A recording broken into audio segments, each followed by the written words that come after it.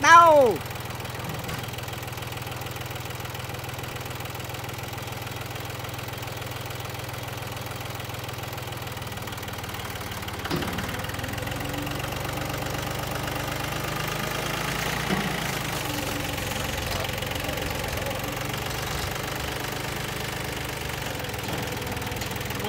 này con khi kéo mẹ.